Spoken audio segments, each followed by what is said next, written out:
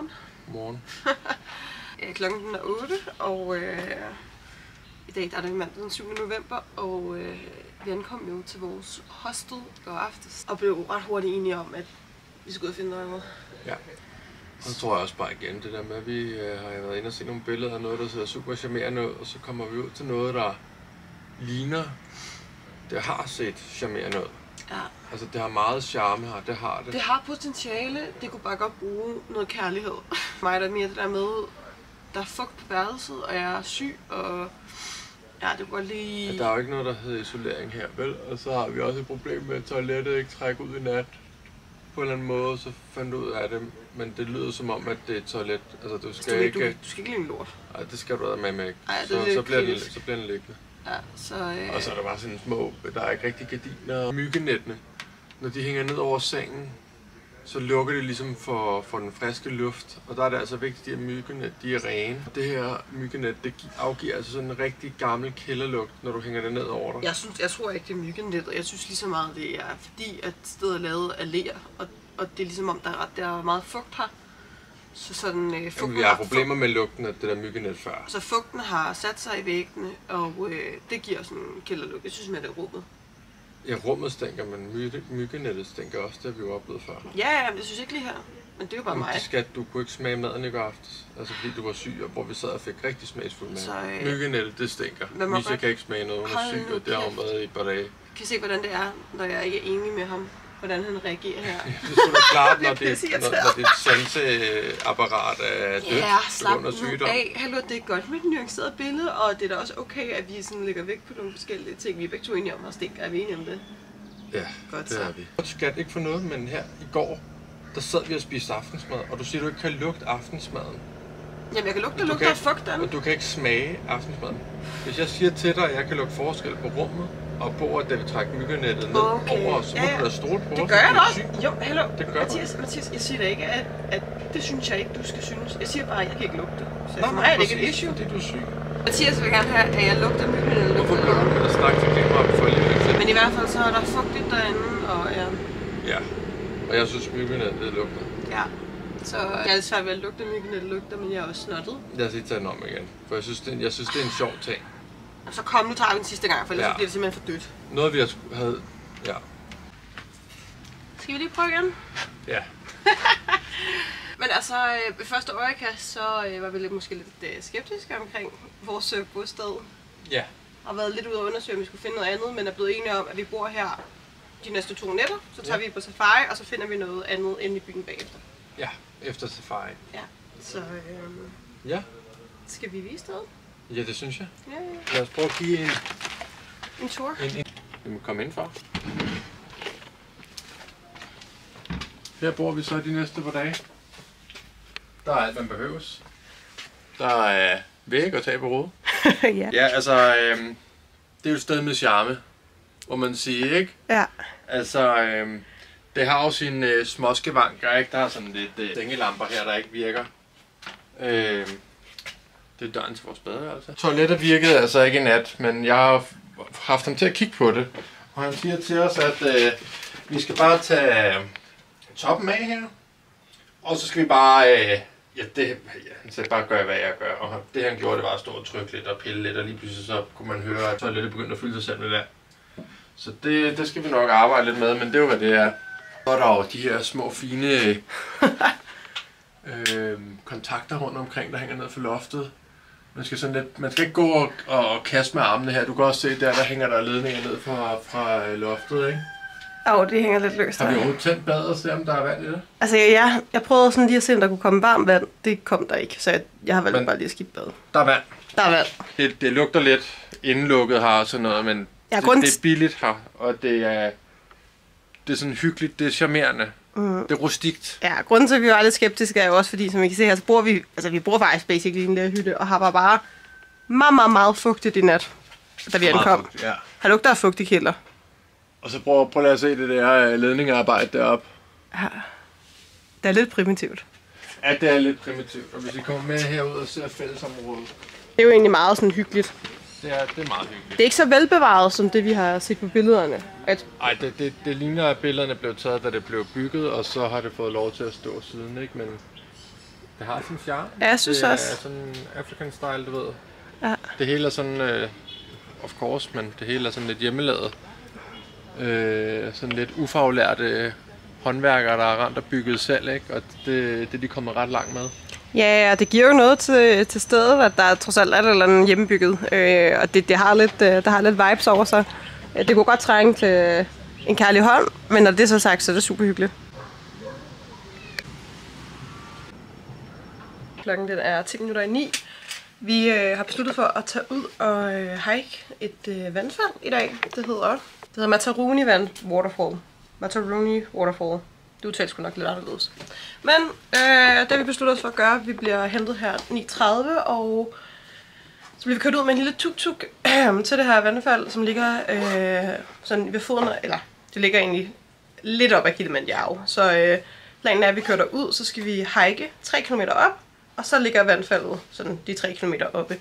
Så det bliver spændende, jeg glæder mig i hvert fald. Jeg håber, det bliver øh, flot og lidt udfordrende. Øh, ja, og så har vi mulighed for at bade ved det her springvand, og så skal jeg have noget lokalt mad og sådan nogle ting der. Så øh, nu må vi se, hvad dagen bringer. Vi skal sted. Vi holder vores ride. Vi?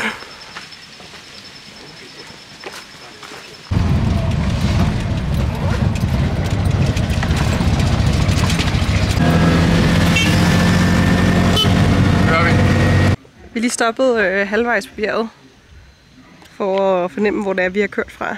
Uh, he just told us that uh, the mountains have different levels, right? Yeah. And uh, in the first level Yes. that we are on now is It's for called, it's called cultivation. yeah, Cultivation, ja. yeah. Yeah.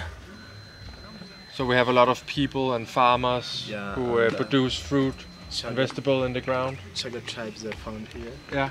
and also we have a lot of plants.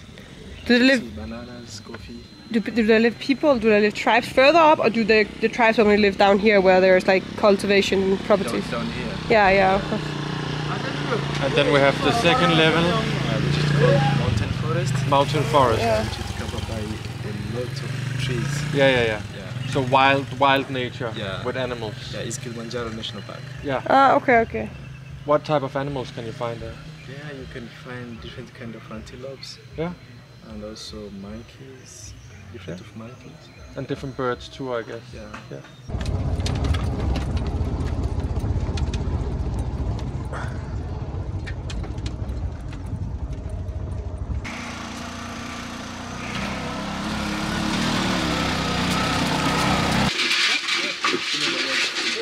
Så skal vi lige have en, øh, en pause her, Okay. inden øh, vi skal gøre resten til fods. Ja. Jeg tror, at det, der ligger herovre, det faktisk er kaffebønner. Øh, tror du? Det tror jeg. Det er det. Du kan se, så kværner vi det her. Is it, uh, is it coffee beans? Yeah, the coffee beans. Ja. Det dufter helt fantastisk. Ja, det, det er dufter helt- som at åbne sådan en helt frisk kværnet kaffepose. Fuldstændig. Bare lidt mere... Øh, Det er ikke dårligt, var. Friskværnet kaffe på toppen af... Eller ikke på toppen, men ved Kilimanjaro. ja.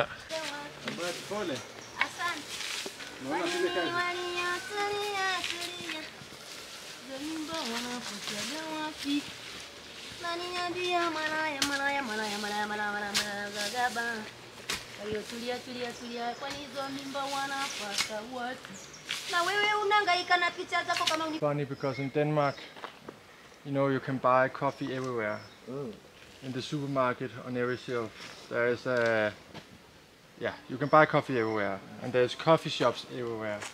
But when you're here and you see the hard work, the hard labor of producing coffee, you know, sometimes I think people take for granted Oh. so, uh, the way you produce coffee. You All know? the work that's put into it, you know? Yeah. Yeah. Uh, this is Arabica coffee, and uh, it came from Arabic countries. Yeah. So we call Arabica because it was mispronunciation. Yeah, yeah, Arabica. Yeah, between locals and Germans. Okay.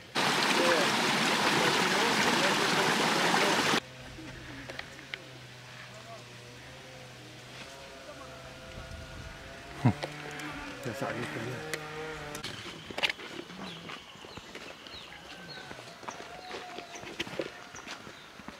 Is it dinner?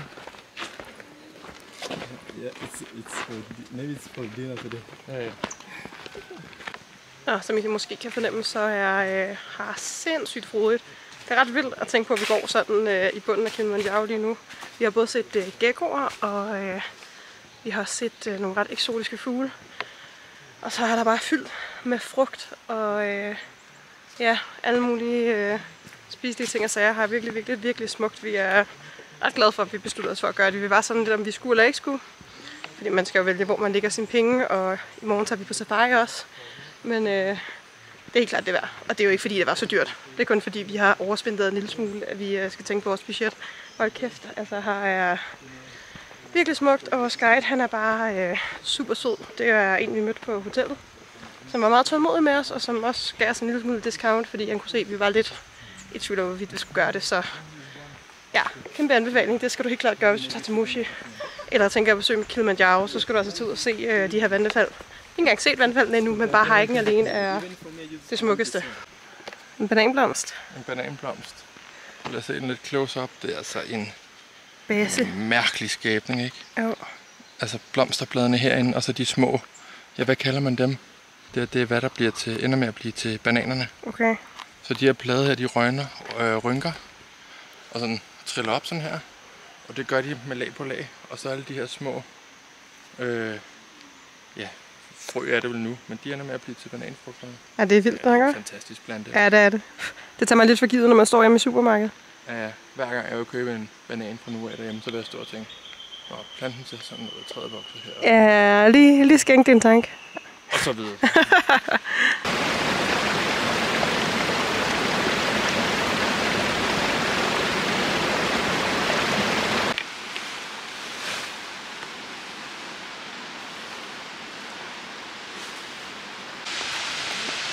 Så er vi næsten fremme, og det ser vildt ud.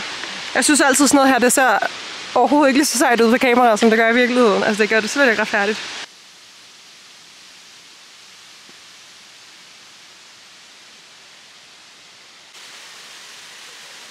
Skal der skulle bades i vandfaldet? Ja, det bliver jeg nødt til. Kommet så langt, ikke? Det er rigtigt.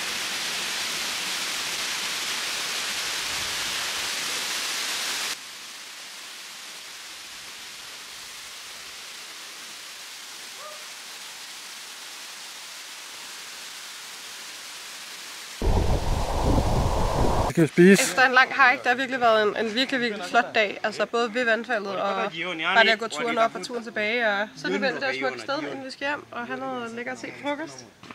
Det er fedt. Altså, som ligger midt i bjerget i... Ja, det er så hyggeligt. Altså, Ja. det er fantastisk. Det er meget specielt. Nana, Ja. the yams potato, beans, and the volcanic ash, they use it as a sodium, as a soda. Ja. So, welcome. It's self-service. Ja. You save it, you enjoy it, and then you come second round to eat. Because I know the first round you just come to try. Welcome. Hassan sana. Karibu sana. Vil smage? Mm. Og det er virkelig godt. Hvor meget vil du give suppen? Sådan ikke for...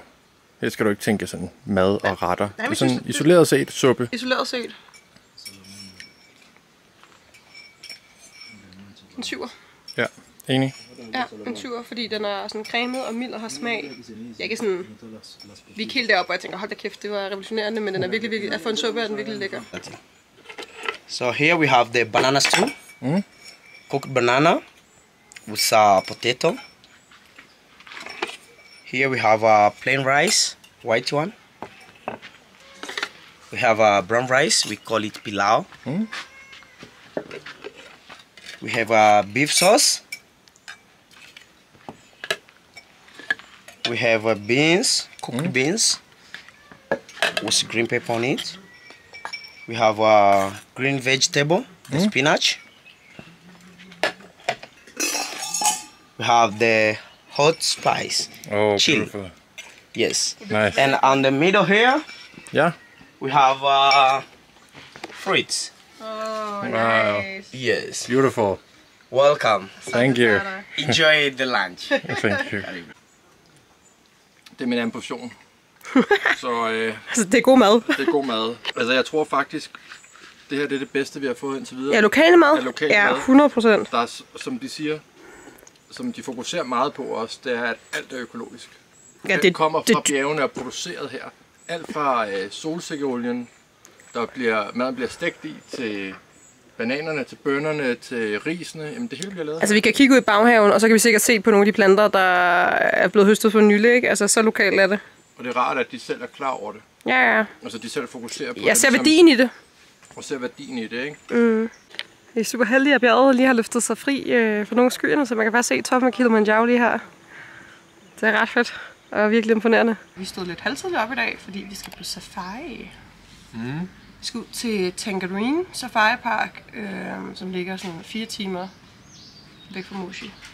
Ja, Jeg tror, den ligger, alt ligger med great distance. ja, jeg tror, den ligger vest for Moshi, faktisk. Ja, jeg. Øhm, og øh, der skal vi ud på safari, og vi skal på safari i to dage. Det vil sige, at vi sover faktisk ude i bushen, og øh, det bliver spændende. Vi håber på at se nogle elefanter, og måske også nogle løve.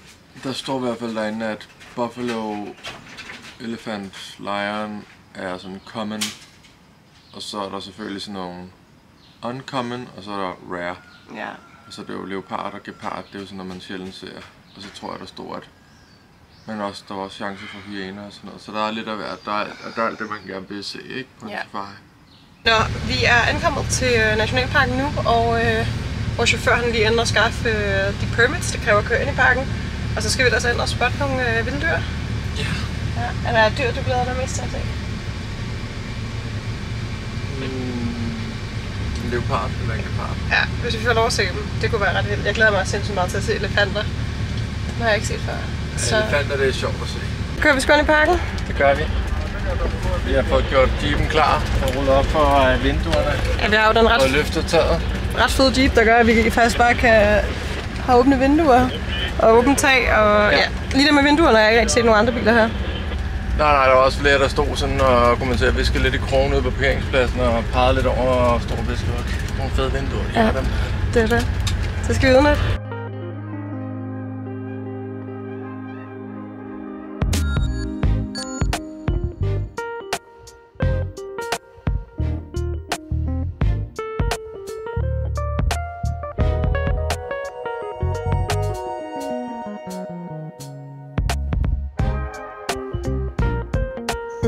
Vi er ankommet til vores hotel og lodge for aften, og øh, hvis vi skal være helt ærlige, så blev vi faktisk en lille smule skuffet, da vi ankom, fordi vi kørte ud af parken. Meningen med hele den her overnatning var, at vi skulle sove inde i parken.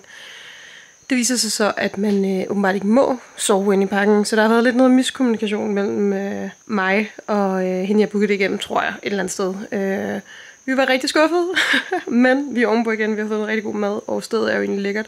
Som vi kan se, så er det sådan øh, faktisk stort telt. Det er altså en bygning, men så er der sådan, jo tilsider og til tag, og så er der en lille tilbygning hernede. Det er vores øh, seng, som er rigtig lækker og stor. Så har vi øh, en lille hylde-area, hvor vi have vores ting. Og så har vi et toilet herude, og så har vi et stort lækkert bad, som jeg også lige har benyttet mig af med øh, varm brun niche. Altså det her, det er umiddelbart meget luksus i forhold til, hvad vi bor i øh, normalt. Så det er rart. Klokken den er 6. Og øh, vi skal i gang med dagen.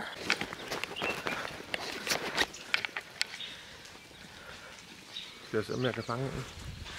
En impala? Ja. Ja, til morgenmaden? Ja. Så er der bare i gang.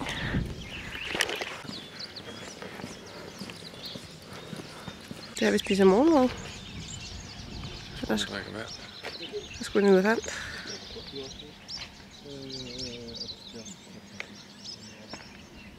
Ja, den Land Cruiser, vi kører rundt i, er ret lækker.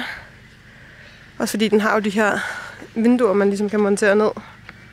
Så man kan skyde billeder ud igennem dem. Så er vi afsted og klar på dag to, og vi håber at se en øh, gepard, er det ikke det? Leoparder. Leoparder og løver håber jeg også på se.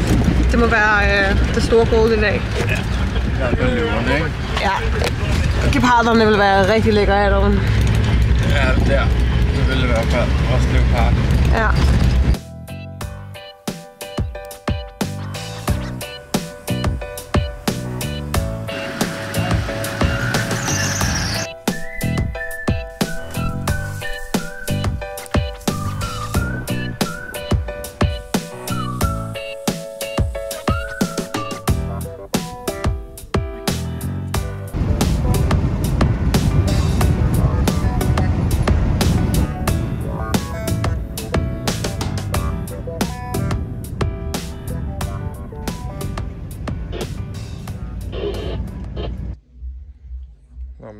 Gået i seng her. Misha ligger allerede og putter. Mm. Og øh, vores sådan situation med naboen, der spiller høj musik. Jeg tror, jeg har fået lopper. Har du fået lopper? Ja, oven i det hele, så tror jeg simpelthen, jeg har fået lopper, også fordi der stod på nettet, at det er sådan en masse små bid efter hinanden, og det er også det, jeg og det klør kommer til. Det er Afrika i nødskal. Det er fest i baghaven, og lopper i sengen, og Hvad er værst, lopperne eller musikken? lopperne. Det musikken har jeg ventet mig til. Havde det været for to og en halv måned siden, så var jeg, altså, så var jeg blevet så indebrændt over det larmede. Jeg er ikke god til lyde, når jeg sover. Men nu er det bare sådan, når jeg er lidt basser, er vel aldrig skadet. Hmm. Så Ja, ja. sådan er Nå. det. Vi siger godnat herfra. Ja, det gør vi godt nok.